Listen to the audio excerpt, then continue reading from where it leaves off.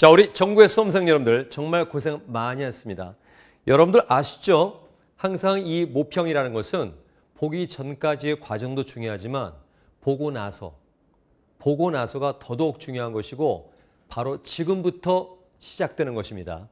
자, 지금 어떻게 행동하느냐에 따라서 지금까지의 그 불확실성에 우리 고되고 힘들게 지났던 부분을 확실성의 꽃을 피울 것이냐 아니면 쓰레기처럼 헌신짝처럼 버릴 것이냐. 자, 지금의 2개월 남짓 남겨져 있는 이 시간을 어떻게 관리하느냐. 그리고 스스로 또 이 순간을 어떻게 냉철하게 받아들이냐. 이것이 정말 중요한 것입니다. 어, 더군다나 이번 구평은요. 현 교과에 대한 마지막 평가 모의고사입니다. 그리고 또 11월에도 교과에 대한 마지막 서든데스가 남아있죠.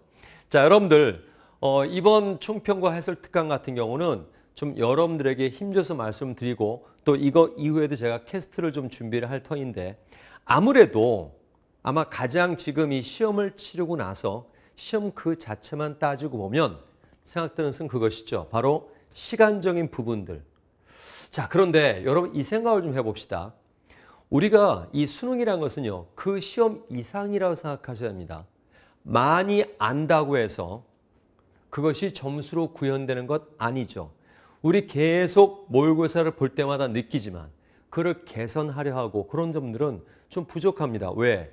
어, 당장 문제 하나를 풀고 그 결과를 빨리 보고 싶은 그것이 급급하다 보니까 본질적인 부분이 많이 약하답니다. 여러분 수능 시험 그 이상이에요. 이것은 어떤 지식을 체크하거나 이런 부분들이 아니고 정말 우리의 사고, 우리의 생각 속의 근거 이것을 그 자리에서 펼쳐나가야 됩니다. 그렇기 때문에 수능장에서의 모든 변수를 지우는 작업을 하셔야 됩니다. 수능장에는 긴장된 상황은요. 완전히 하늘과 땅 차이죠. 여러분 문제 하나만 보더라도 집에서 편하게 문제집 풀 때 하고 또 그래 모의고사라고 해서 정해진 모의평가 날에 시험을 보는 것과 수능장에서 보는 것은 완전히 다릅니다. 여러분 시험지를 받아들고 갑자기 이제 연구 모드로 바뀌면 어 이건 뭘까? 특히 뭐 물리를 얘기한다면 20번에서 가면서 여기 물 접촉되어 있는 면, 물체 면, 이 부분은 뭐가 어떻게 될까? 또 16번 같은 경우에 로봇이 뭐 기둥을 타고 올라간대요. 하면서 요 힘이라는 거 어떻게 될까? 이제 그제서야 연구 모드로 바뀌고 그제서야 얼굴심이 발생한다는 거죠. 그런 모든 변수를 지우는 작업을 지금 하셔야 됩니다.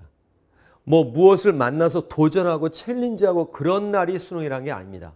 그래서 수업 중에 그런 얘기 많이 하죠. 수능장 가서 새로운 문제를 받아본다는 느낌을 받는 순간 그날은 작살난다고 생각하셔야 됩니다.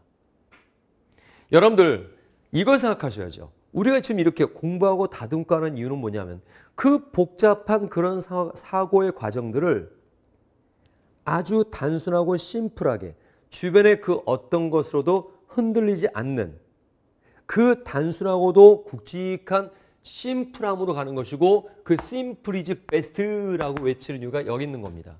그래서 도대체 이 30분과 20개 제가 3020 해서 한번 캐스트 한번 만들어 보려고 하는데 도대체 이것이 무엇이 문제인 거냐? 이 시간의 뭔가 좀 절박함 이 시간의 뭔가 쪼들림 이것이 무엇이 문제인 것이냐? 하나 하나 하나의 몇 초간의 소모가 결국 이것이 누적이 되면요. 결국 4페이지에선 돌이킬 수 없는 시간이 경과가 일어난 상황이 된 거죠.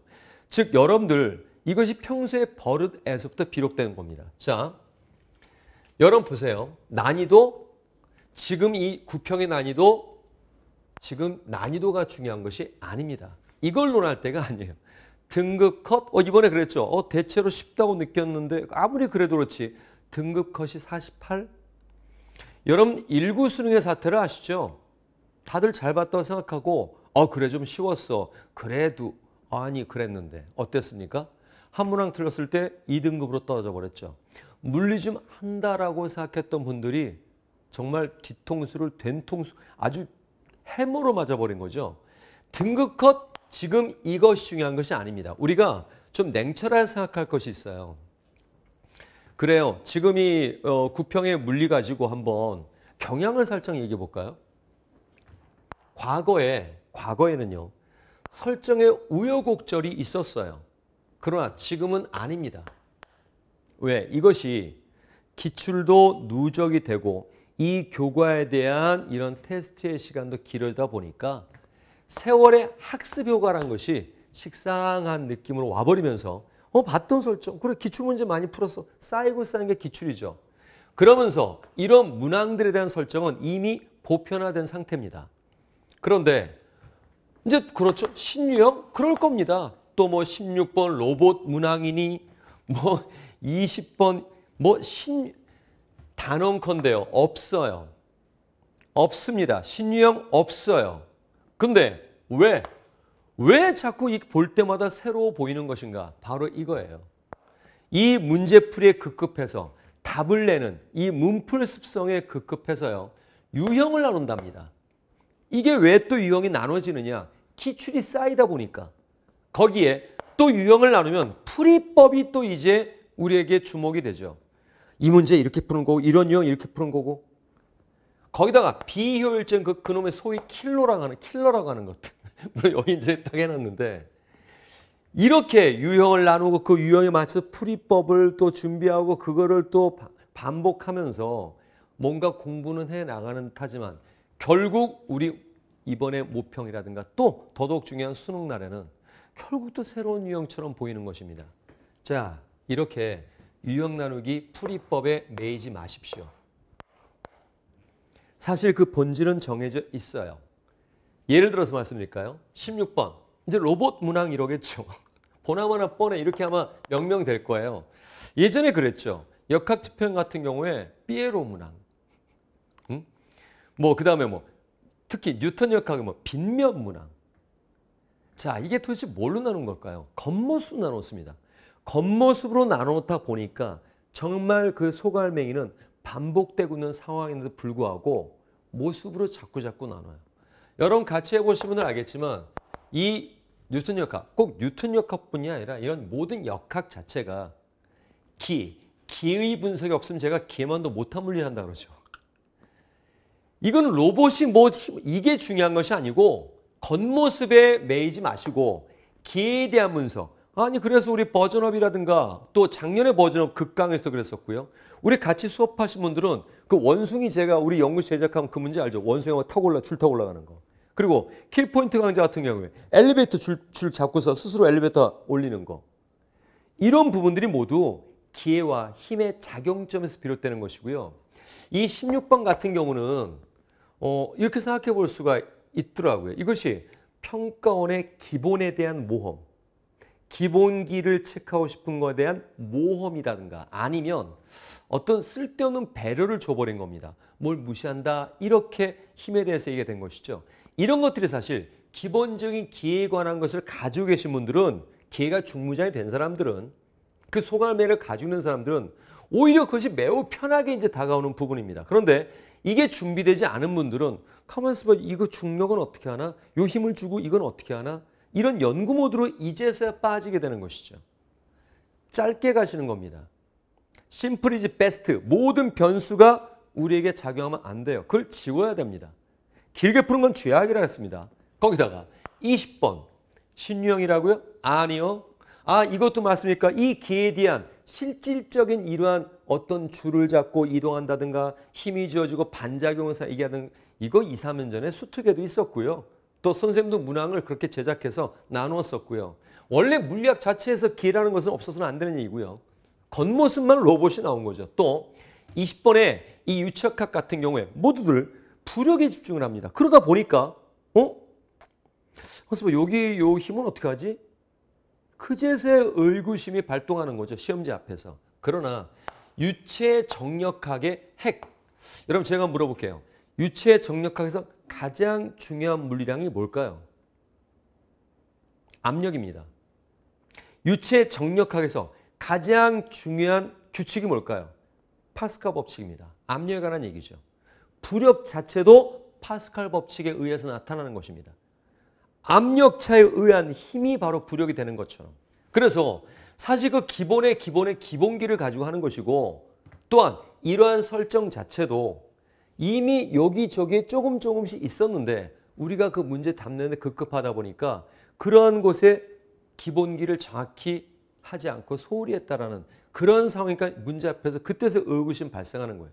이것도 짧게 가는 것이면 자 문제 뼈대는 뭐냐? 상관관계 가 나 상관관계 뭐가 변했고 뭐가 변하지 않았는가 거기에서 유체 정력학에 대해서 바로 시그마 F 콜령 힘의 평형이 가장 대전제가 되는 것입니다. 짧게 가라고 만들어진 거고 이것은 오히려 요 20번 문제는요. 어, 19번 컨셉에 있으면 좋지 않을까 그런 생각들을 할 수 있는 부분이죠. 자, 그 다음 17번 그래요. 그래요. 빗면. 근데 안 되잖아요. 안 되신 분들 많잖아요. 뭐 여러분 제가 과소평가는 아니지만 어? 어? 뭔가 또 물어보는 포인트가 다르다 이거죠. 그거부터가 착각입니다. 설정 내용을 볼 줄 아는 시력. 제가 그런 얘기 하거든요. 뉴턴력학은 시력이 실력입니다. 뭐 제가 이따 말씀드리겠지만 바로 설정을 볼 줄 알았다는 얘기가 이 문항에서 A와 B의 각각의 H0, 뭐 EV0, V0, H, 야, EH0 왜 그러한 설정을 A, B에 갖다 붙여놨을까?